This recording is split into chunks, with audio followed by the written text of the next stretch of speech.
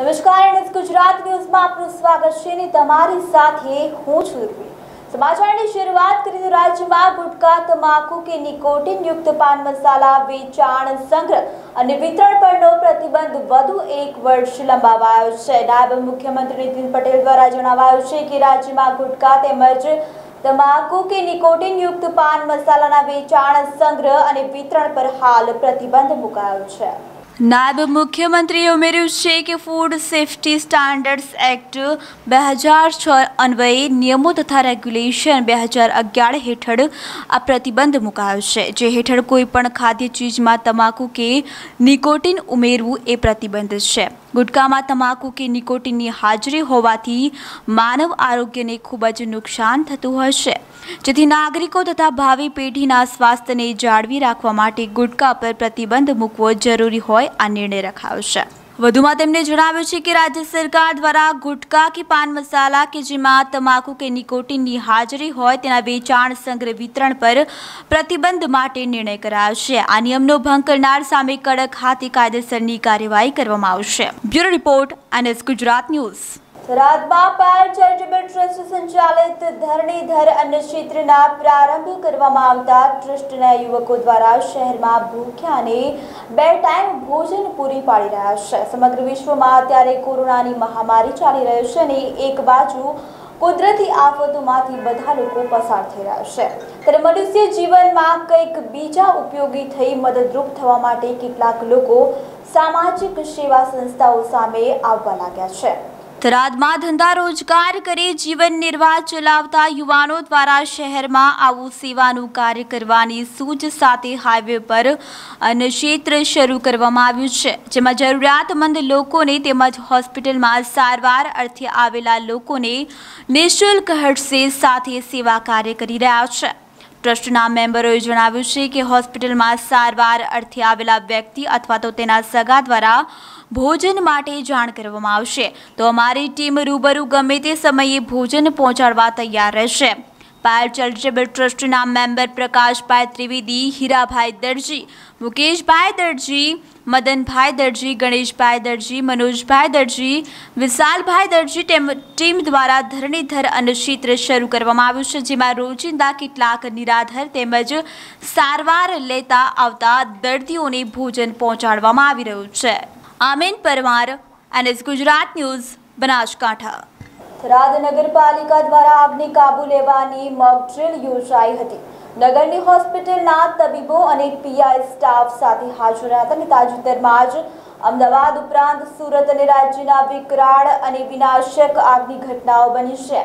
થરાદ નગરમાં આ પ્રકારની ઘટનાઓ બની તે બહારની મદદ આવે તે પહેલા જ તેને ફેલાતી અટકાવવા શું કરવું તે અંગેની એક મોક ડ્રીલ અને તાલીમનું નગરપાલિકા દ્વારા પોલીસ મથકમાં આયોજન કરાયું હતું. જેમાં નગરના તબીબો અને પોલ સ્ટાફ ઉપસ્થિત રહ્યા હતા. થરાદ નગરપાલિકા દ્વારા બુધવારે સાંજે પોલીસ મથકમાં શહેરની તમામ હોસ્પિટલ અને મેડિકલ ફેસિલિટી ધરાવતા ઇન્ડિયન મેડિકલ એસોસિએશનના તબીબો અને તમામ સ્ટાફ માટે આકસ્મિક આગને કાબૂમાં લેવા માટે એક મોકડ્રીલ અને તાલીમ યોજાઈ હતી. આ અંગેની વધુ માહિતી આપતા નગરપાલિકાના ચીફ ઓફિસર પંકજ બારોટે જણાવ્યું હતું.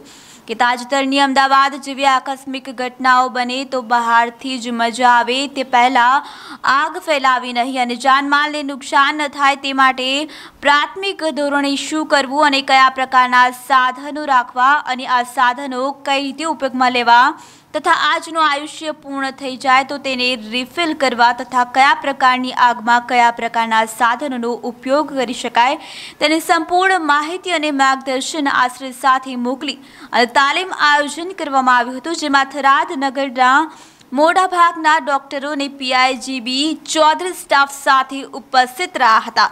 નગરપાલિકાના ફાયર વિભાગના નિષ્ણાત સ્ટાફ દ્વારા ઘટનાનું ડેમોન્સ્ટ્રેશન કરવામાં આવ્યું હતું. Amin Parmar, NS Gujarat news, Banaskantha. Supreme કોર્ટે સત્તર ઓગસ્ટના નિર્ણયમાં પરીક્ષા નક્કી તારીખે કરવાનો આદેશ આપ્યો હતો.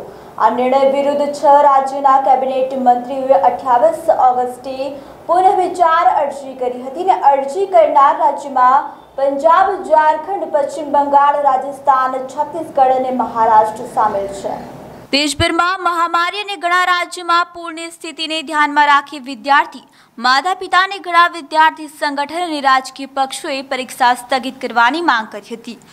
સાથે જ નેશનલ ટેસ્ટિંગ એજન્સીએ વિરોધ કર્યા છતાં, કોરોનાથી બચવા માટે જરૂરી ગાઈડલાઇન્સ સાથે જીઈ મેન એક સપ્ટેમ્બરે શરૂ કરી છે. આ છ સપ્ટેમ્બર સુધી ચાલશે. તો આ તરફ મેડિકલમાં એડમિશન માટે યોજાનારી નીટની પરીક્ષા તેર સપ્ટેમ્બરે યોજાશે. Bureau report, NS Gujarat news. કોરોનાની મહામારીમાં લોકડાઉનને પગલે બગીચાઓ બંધ થઈ ગયા હતા, પરંતુ ઘણા સમય બાદ અનલોક ચારની જાહેરાત થતાં રાજ્ય સરકાર દ્વારા પાંચ સપ્ટેમ્બરના રોજ એટલે કે આજથી બગીચાઓ ખુલ્લા મૂકવામાં આવ્યા છે. કોરોનાની મહામારીમાં લોકડાઉનને પગલે બગીચાઓ બંધ થઈ ગયા હતા. ઘણા લાંબા સમય બાદ અનલોક ચારની જાહેરાત થતાં રાજ્ય સરકાર દ્વારા પાંચ સપ્ટેમ્બરના રોજ, એટલે કે આજથી બગીચાઓ ખુલ્લા મુકાશે તેવી જાહેરાત કરાઈ છે.